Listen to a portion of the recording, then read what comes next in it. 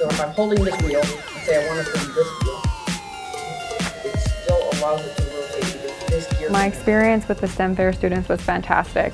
Really from the first time I met them, I could see that they were very creative and innovative with their project. So I knew that this was going to be a successful collaboration because they really enjoyed what they were doing. What I have created is a self-driving car. I have programmed it with my partner. It uses three motors and one smaller motor to turn the back wheels. It uses a infrared sensor on the front to turn and avoid it.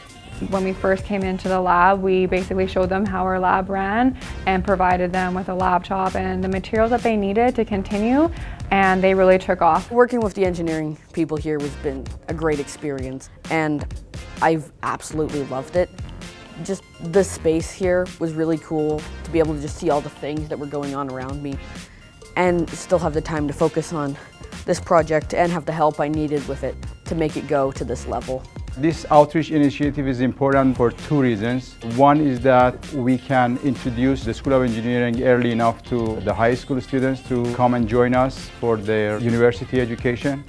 Second thing is we believe that the university has to serve the public and students at all levels, from high school to undergrad to the graduate school. I would definitely do something like this again. I already have a, another project I'd like to do. The whole idea of a STEM fair and how you can do that and then get this opportunity, even if I wasn't to get it again, it's amazing and I know all of the other students who have had this opportunity have really enjoyed it as well.